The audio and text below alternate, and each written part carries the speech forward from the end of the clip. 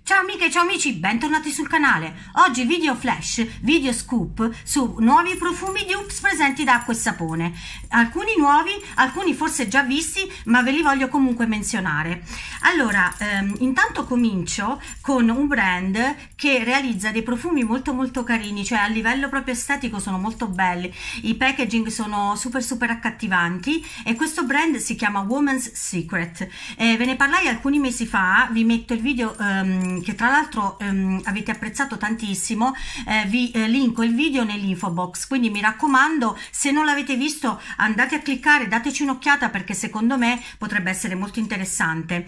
E cominciamo con il Rouge Seduction, questo qui lo vedete in sovrimpressione eh, con questo pack super super carino accattivante.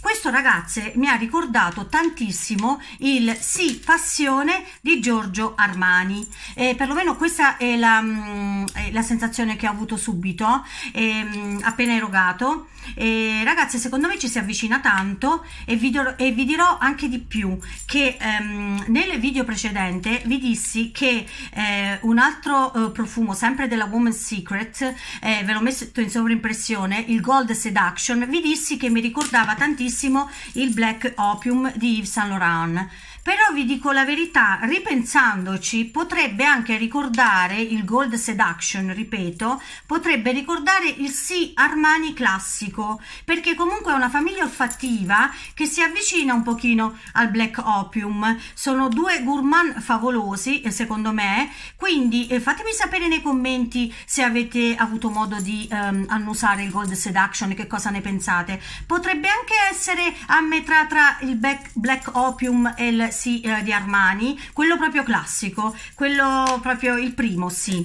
quello originario. Ok, andiamo avanti. Poi ho trovato quest'altro profumino molto carino, ehm, di cui ci sono diverse, eh, diciamo, tipologie di packaging. Si chiama Over Red e ehm, questo di Gianmarco Venturi e questo ragazze mi ha ricordato ehm, il Baccarat Rouge, cioè in realtà io ho un dupe del Baccarat Rouge, eh, il Red Temp Temptation che è um, di Zara e, um, e, ho anche un altro dupe di Yodeima di Baccarat Rouge. Quindi penso di aver capito bene la famiglia olfattiva e, um, anche se io il Baccarat Rouge non l'ho mai sentito dal vivo diciamo così e questo devo dire ragazzi che mi ha ricordato un po' quella famiglia olfattiva anche se ha qualcosa di diverso un profumino molto molto interessante e poi ragazzi qui i prezzi sono veramente molto molto abbordabili eh.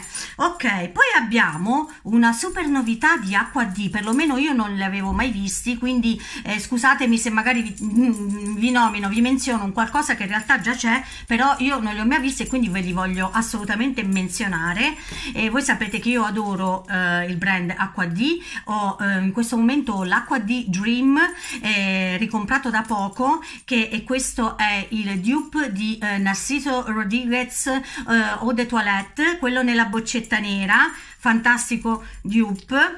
E um, ho trovato dei nuovi dupe. Allora c'è l'acqua di Fleur guardate ragazzi questo in questa boccetta stupenda opaca di un cioè io solo per la boccetta vorrei acquistarlo e penso che l'acquisterò solo per la boccetta. Mi ha ricordato il Flora di Gucci cioè ma il Flora quello proprio classico eh, non il Flora i Flora i flanker che eh, sono, sono usciti da, da poco insomma. Proprio il Flora classico mi ha ricordato però potrei anche sbagliarmi. Comunque un bellissimo floreale super super femminile e un floreale rosa e poi abbiamo l'acqua di Girlfriend e qui vi dico ragazze che non ho potuto sentire il tester però cioè io ci scommetto che questo è il dupe di Good Girl di Carolina Herrera perché ragazze cioè il packaging è quello cioè mi ha subito ricordato il packaging del Good Girl di Carolina Herrera. Quindi fatemi sapere se voi avete avuto modo di sentire il Girlfriend perché eh, chiaramente non c'era il tester e quindi non potevo sentirlo. Eh, fatemi sapere su, nei commenti. E poi ehm, ho trovato eh, dei profumi di Alviero Martini stupendi ehm, ehm, le, le, boccette sono enormi, praticamente credo da 100 ml e il prezzo è super vantaggioso sui 12,90 euro, credo, 13 euro, insomma così, non sono precisa ma il range è quello. E il profumo Margot di Alviero Martini mi ha ricordato ehm, il Roses Mask di Montal, però in una versione molto più fresca, perché questa è una rosa fresca e muschiata e, mm, e mi ha dato quell'impressione, non è un perfetto dupe, però è su quella falsariga, è su quella famiglia olfattiva. Poi ci tornerò ragazzi a sentire gli altri profumi di Alviero Martini perché sono super interessanti, però eh, avevo ormai il naso super saturo e quindi non stavo capendo più niente.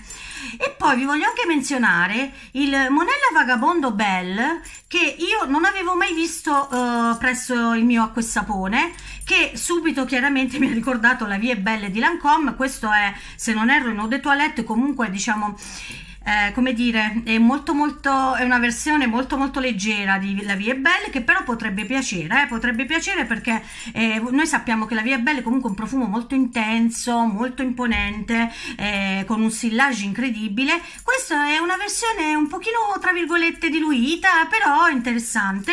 E poi il Monella Vagabondo Black che mi ha subito ricordato il Black Opium di Yves Saint Laurent e questo ragazzi secondo me ci si avvicina abbastanza, però chiaramente il, la durata non è eccelsa, questo ve lo posso dire perché l'ho erogato sul polso, ha avuto una durata diciamo abbastanza eh, accettabile, però chiaramente non ai livelli eh, del Black Opium di eh, Saint Laurent. Ok ragazzi, io al momento termino qua, spero che questo video lampo eh, vi sia piaciuto e come sempre vi auguro una splendida e radiosa giornata. Un bacione!